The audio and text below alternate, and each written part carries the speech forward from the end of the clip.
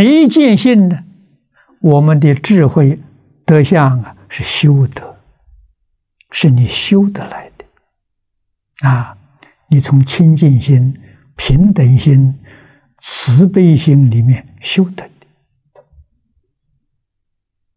的啊，也能修得很像佛菩萨。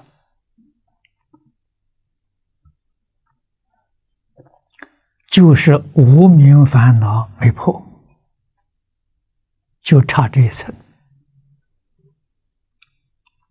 哎，这些道理我们都很清楚了。啊，修习的方法我们也懂了，就是没有真干。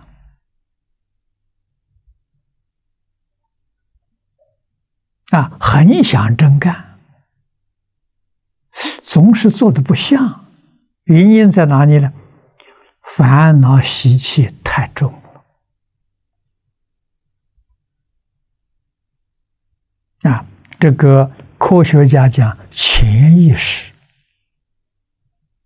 啊，他把意识分为两类，一种是明显的潜意识，我们知道，我们起心动念在那想什么，这是很明显的意识。潜意识自己不知道，啊，但是它常常起作用，啊，譬如自己没有想想，哎，忽然这个印象现浅了，这印象太深了，不想它就现前了。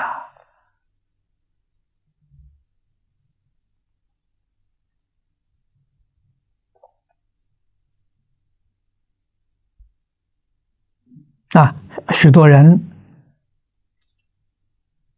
早年生活在战争的那个时代，这个念念头记忆很深很深。晚上做梦，常常做梦作战，啊，好像第二次世界大战还没结束，那没想他了。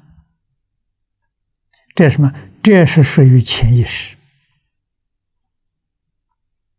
啊，它在起作用，这个很可怕了。我们怎样训练，把起意识、潜意识前面那些东西不善的东西，把它换掉。啊，让我们起心动念都是佛菩萨，起心动念都是极乐世界。这就决定往生。啊！确实不知不觉，没有有意去想它啊。佛菩萨常常现前啊。我们一般人讲啊，现在你脑海之中啊，你自己很清楚，别人不知道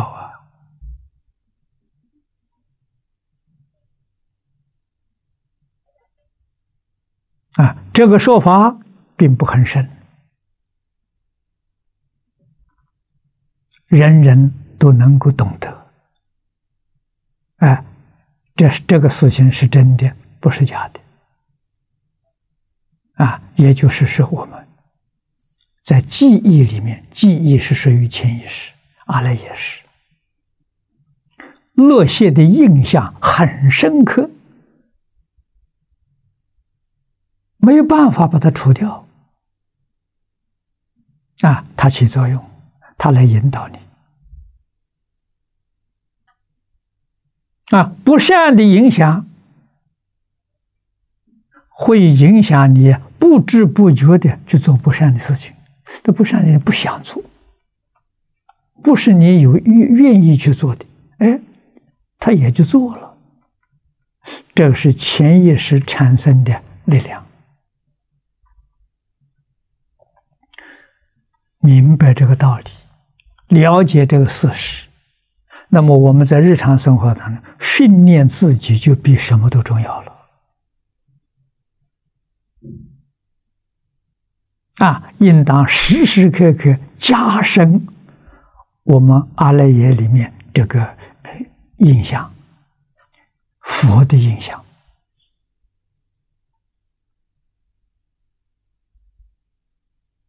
大势至菩萨告诉我们：忆佛念佛，亦是想啊，啊，心里面想佛，口里头念佛，现前当来啊，必定见佛。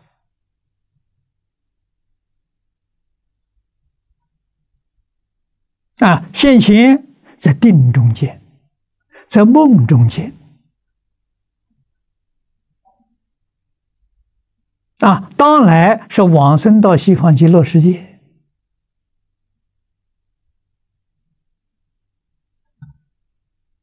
你就不会再离开佛了。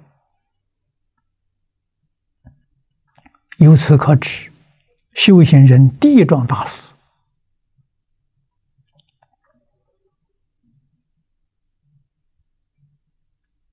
就是要把阿赖耶里面的记忆换成阿弥陀佛。过去，无论是顺境逆境、善缘恶缘，都要用阿弥陀佛，都要用无量寿经，把它取而代之。啊，也就是过去这些这个印象太深了，缘太深了。现在我们要把佛。